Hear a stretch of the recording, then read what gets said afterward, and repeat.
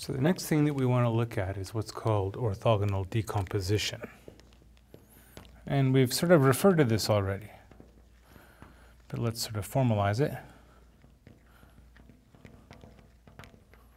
Okay, and so the idea here is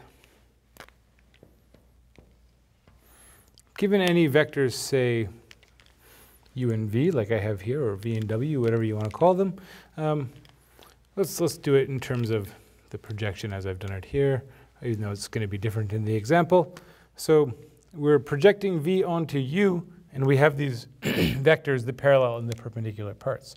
And the idea is that you can take your vector V, and you can write it as the projection of V onto U plus V minus the projection of V onto U.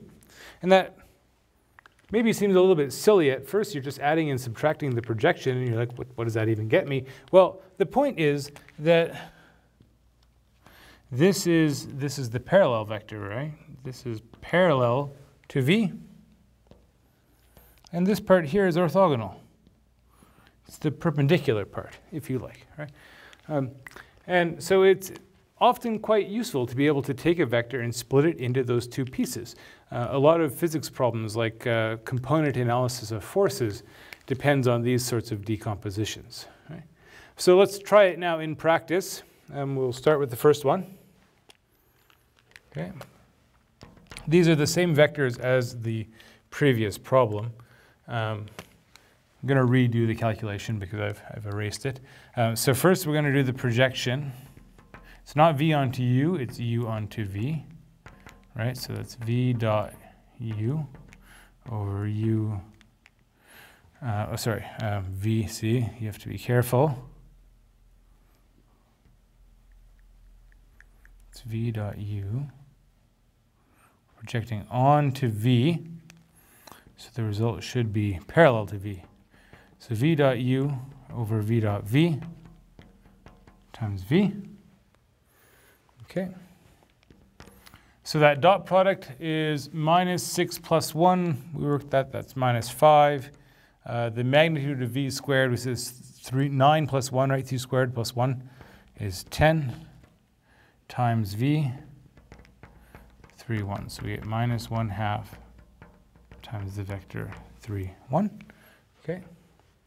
All right, now this is Right, so this is the kind of the part that is parallel to V.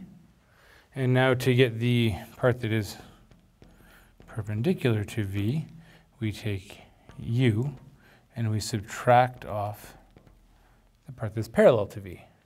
So we take the vector U, which is minus 2, 1, and we subtract off minus 1 half. Be careful of the double negative times 3, 1.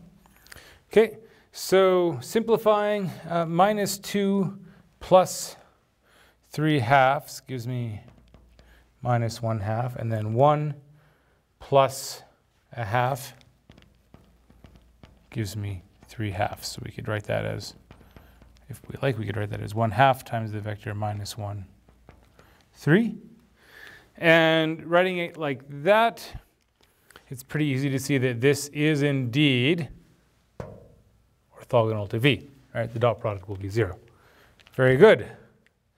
Let's try the second one. So this time,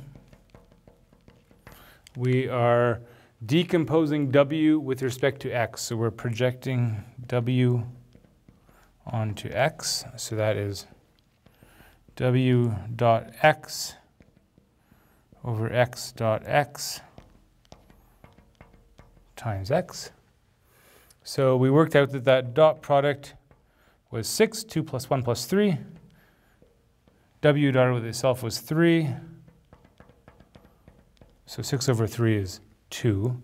So we simply get the vector 2, 2, 2, right? Twice x.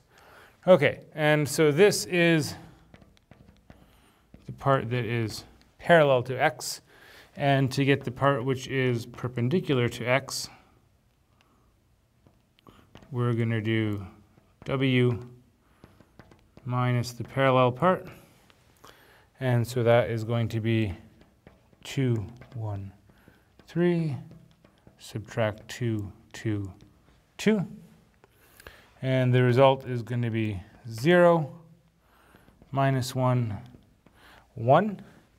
And indeed, if we take that vector and we dot it with x, we do get 0. Um, so those vectors are orthogonal as promised.